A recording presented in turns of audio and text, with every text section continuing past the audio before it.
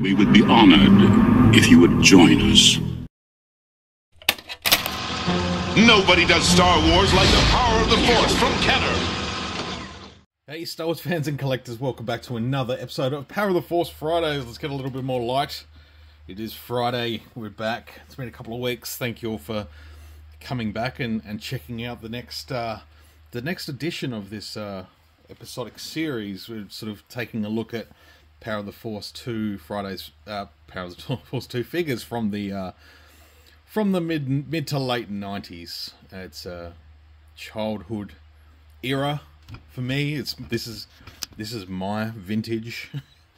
um, and yeah, wanted to wanted to dump something different. Um, this is almost a little bit of a two for one here with a Han Solo in carbonite.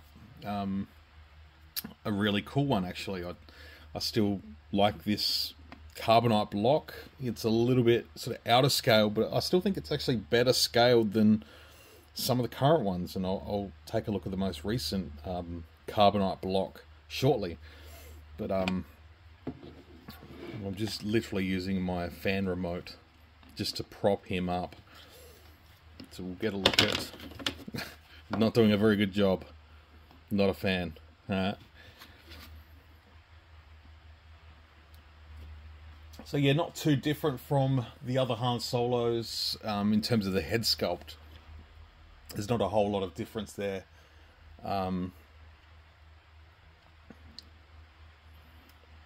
but for the for these 90s figures, I think it looks alright. Obviously, there's still still at the time this was quite an early release, so he's still got that sort of triangular muscle body. But he's not as ripped as Lando.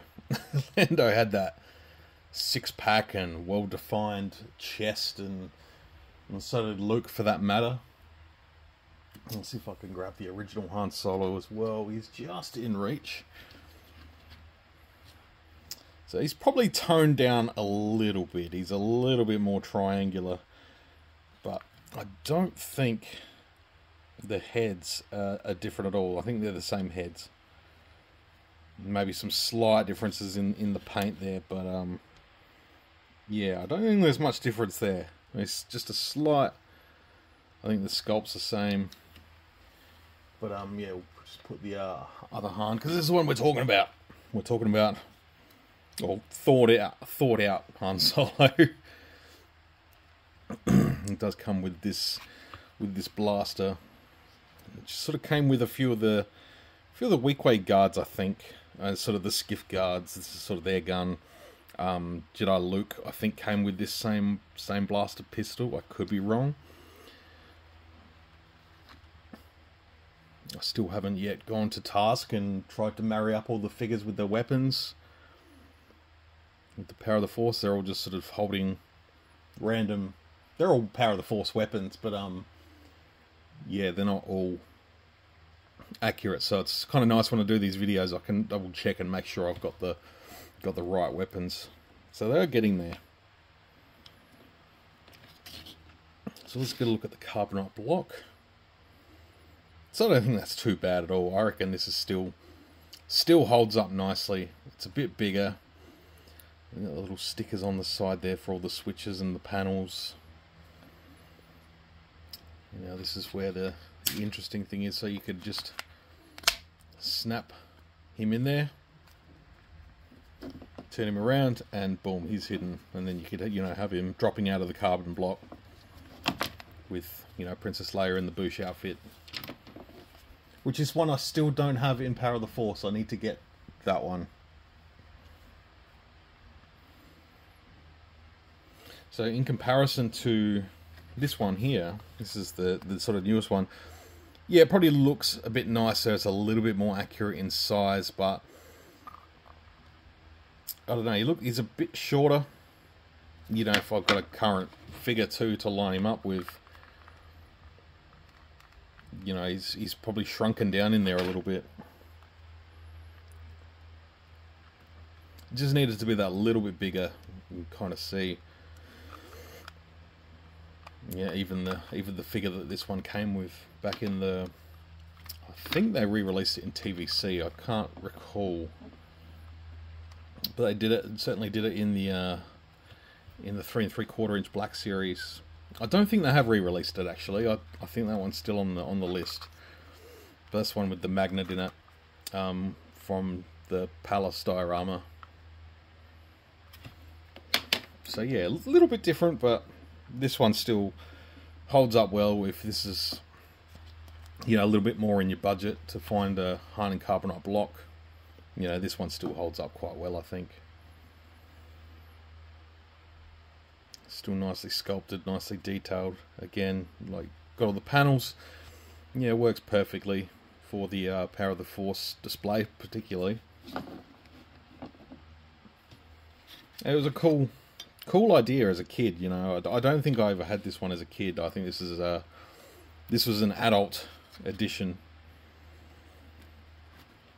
But it's uh, it's been longer since I became an adult now than it was between being a kid and an adult.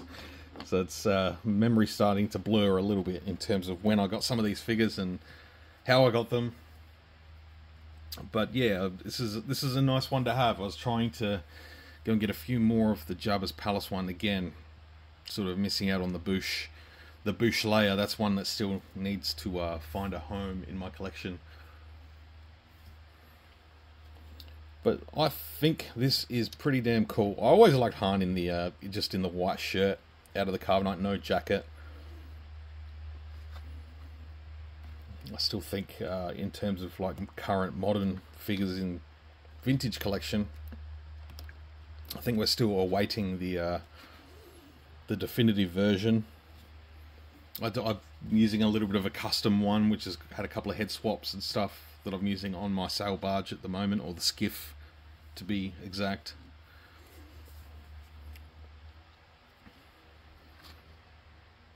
And uh, yeah, I don't have the vintage one to compare to because it is a last 17 figure, and that's just one I probably don't see myself getting at any point soon. Just a little bit out of price range. Some of those last 17 figures, they're all they're all getting up there now, and it's uh, not really the focus of my collection. If they manage to show up one day, cool. But yeah, like I said, not really a focus.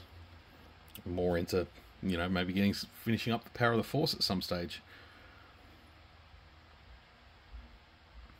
So again, uh, thank you very much for watching another episode of Power of the Force Fridays. Let me know in the comments what you think. Any requests or ideas, please drop them down below. Um, I do have a complete playlist of every one of these I've put out. So you can go through, scroll back through there, and see what I've done, see what I've missed. And uh, yeah, put through your requests.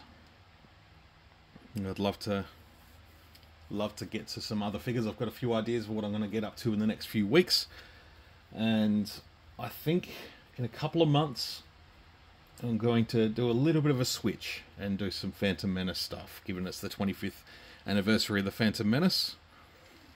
So I'll do some Phantom Menace figures from arguably the same era, 1998, 1999. So, alright, folks, thank you very much for watching. I do appreciate your time.